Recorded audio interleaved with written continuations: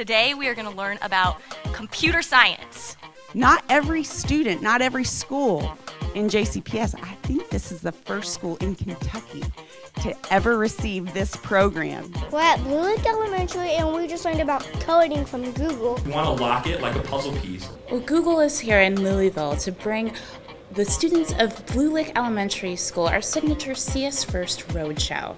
And simply, we're teaching kids how to code today. Next part is to go here. We want kids to be as passionate about creating technology as they are about consuming it. I like to use Google. I, that's, uh, that's, that's what I usually use for searching stuff.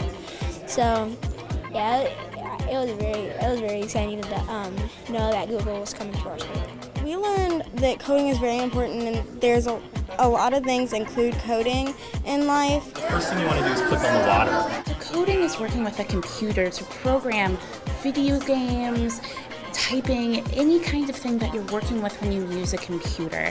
And that branches into STEM education, it branches into what we do at Google with computer engineering. But really, when we're teaching students coding skills, we're also teaching them problem solving skills. And they can carry those skills with them both in and outside of school. So tell us what, what's what's going on in your uh, in your story. So there's two characters named Anna and Abby. We created this little game where people were on a boat and they were talking. It's funny how it looks like he's walking on a boat. We think it's so important to introduce young kids to coding early because the Department of Labor estimates that by 2020 there will be a million more jobs open in computer science than there are people to fill them. So we want to make sure that kids everywhere, from all neighborhoods and backgrounds, have access to the same types of education. It's not hard when you get the hang of it. When I had the help of my partner and everyone here, it was it got really easy. It's important because it, it, get, it helps us get a lot of stuff done.